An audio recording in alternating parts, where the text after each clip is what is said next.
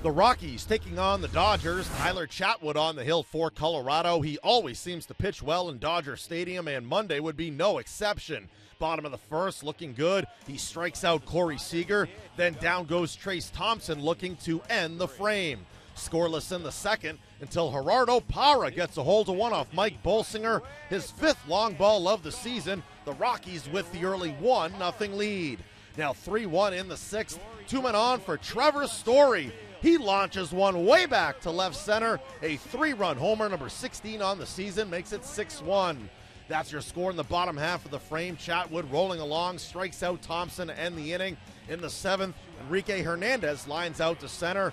In the eighth, man on first, two outs. Justin Turner flies out to the warning track. Chatwood goes eight innings, allowing one run on one hit, striking out five as the Dodgers take it by a final of six to one. Charlie Blackmon notches a hit and scores a run. He's now reached base safely in 32 straight games. He's the active leader in the majors. The series continues on Tuesday. Eddie Butler up against Julio Urias.